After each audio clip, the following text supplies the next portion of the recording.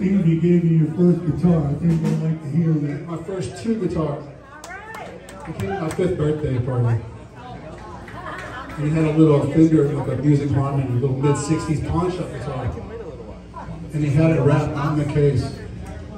Two paper bag, grocery bag. It. it, was, it was cool. The inspiration's been there since I was a little kid. And then I run into this guy. I think Stevie gave me guitar too.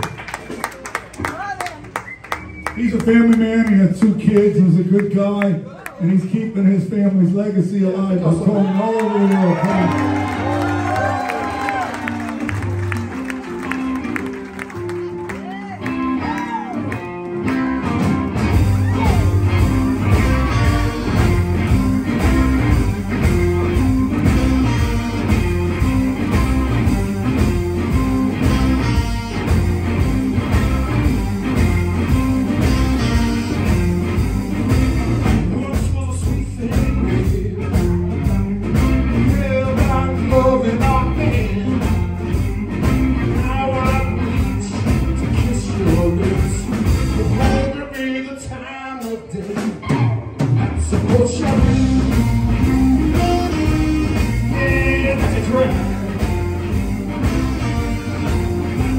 Time of day.